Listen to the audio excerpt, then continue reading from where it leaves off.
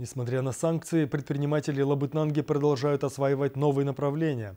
Завтра в Лабытанге открывается первый в городе клуб виртуальной реальности. Предприниматель Игорь Букин задумал его еще в ноябре прошлого года. Первым делом провел мониторинг спроса. Оказалось, что услуга у горожан, особенно среди молодежи, востребована. В реализации смелой идеи бизнесмену помогла помощь государства. Клуб «Матрица» уже полностью готов принять первых гостей. Записываться лучше онлайн. Вся информация через QR-код и на странице ВКонтакте. Три современные VR-арены и огромный экран для Sony PlayStation ждут игроков.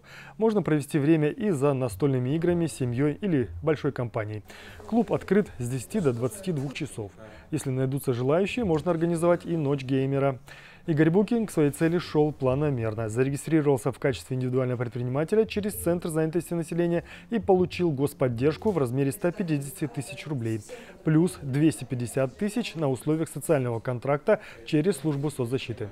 Кроме того, выгодные кредиты от Фонда поддержки малого бизнеса под 3% годовых и возможность бесплатного обучения. Прошел обучение, чему очень рад. Э, отправляли на онлайн-обучение в Томском государственном университете на предпринимательство. Я сам предприниматель с 1996 года, но сейчас уже столько всего нового. Я очень рад, что я прошел это обучение, э, почерпнул очень много нового. Новинок в сфере предпринимательства очень много. В ближайшее время в клубе планируется кибертурнир. Обязательно будем следить за работой нового заведения.